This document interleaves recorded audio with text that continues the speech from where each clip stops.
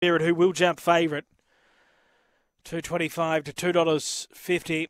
Dial triple one. Both last start winners. Two fifteen to three ten. They're all ready. Race four. Racing now from the inside, Born Spirit away well.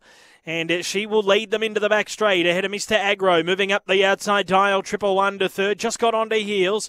Next, Blackpool Ace, there followed Blue Mari, and last as Go Nicky off the back straight, and Born Spirit shot clear.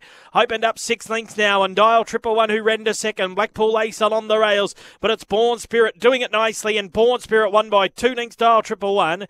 Third, Blue Mari getting home, and then came Blackpool Ace. A gap in the field, Mr. Agro, and Go Nicky last home, the time around 24. Number one wins Born Spirit. The second dog, dial, dial triple one, was probably a good thing beaten, really. Uh, got galloped on from behind. I think it dragged down a little, heading down the back, and then just had some work to do getting around them. But once it got to a clear second, it really chased hard after the leader and took good ground off it. Uh, but I guess it doesn't really matter if you're on that leader because it only has to win by a nose.